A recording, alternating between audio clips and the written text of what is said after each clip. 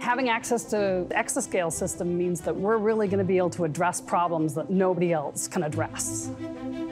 Neuroscientists would like to understand the structure of the brain and the connections, and so they want to know what types of cells they are, what types of neurons, who's connected and how, so that they can then go on and do later studies of things like aging, development, learning, disease states. In order to do that, you have to extract this information, not just from one brain, but from lots of brains. And so trying to build what's called the connectome of a brain. The amount of data is massive.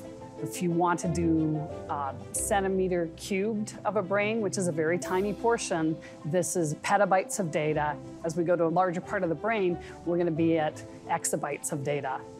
The computer scientist in me says the possibility to handle the really large data sets that are being produced will be a very useful tool for all domains of science beyond just neuroscience.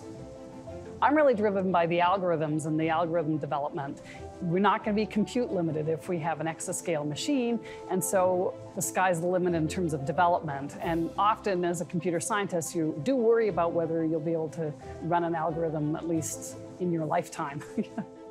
I'm thrilled to have the resources to address those problems.